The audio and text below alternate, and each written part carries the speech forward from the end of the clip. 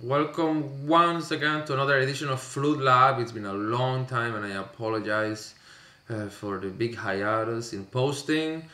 I am now broadcasting from Lynchburg, Virginia, where I am spending a semester teaching at Randolph College. And today I bring you a little bit of um,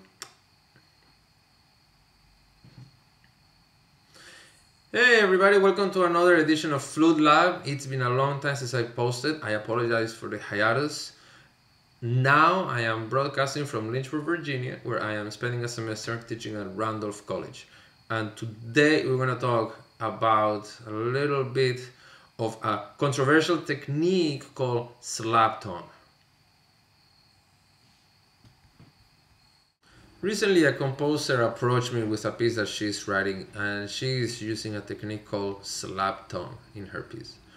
Now, I've always have been very careful with slap tongue, and I always consider it very controversial, due to the fact that to me, slap tongue, the tongue has to slap something, and I have seen this technique used very effectively uh, in saxophone pieces, clarinet pieces, particularly bass clarinet pieces, in which the tongue literally hits the reed inside the mouthpiece, producing a very cool, uh, very particular sound. With the flute, we don't have anything inside our mouth, so I've always considered that technique um, mislabeling of lip pitch, something that would sound like this. But this composer was very good. She pointed me to a fact that um, slap tongue had been used by another flute player, in which he slaps the tongue against his teeth producing this kind of sound.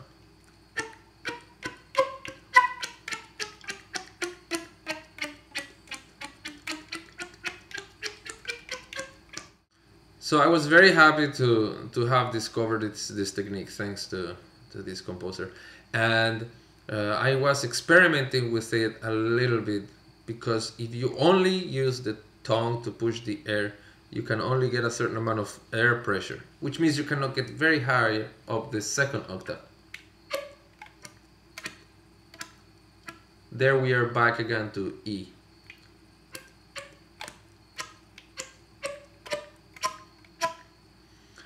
If you close your lips tightly, you can make it a little bit higher.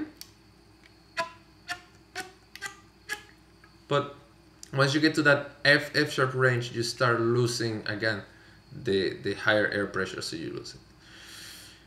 I did find out that you can cheat about it by producing your own air just um, fraction of a second before you produce the sound. So.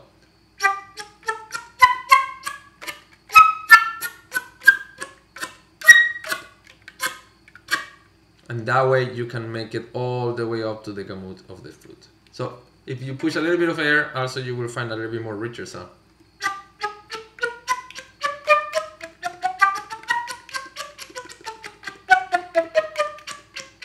And this is it for this edition of uh, Flute Lab. Very short, very concise, and if you have any questions about any technique, please contact me in the email shown below.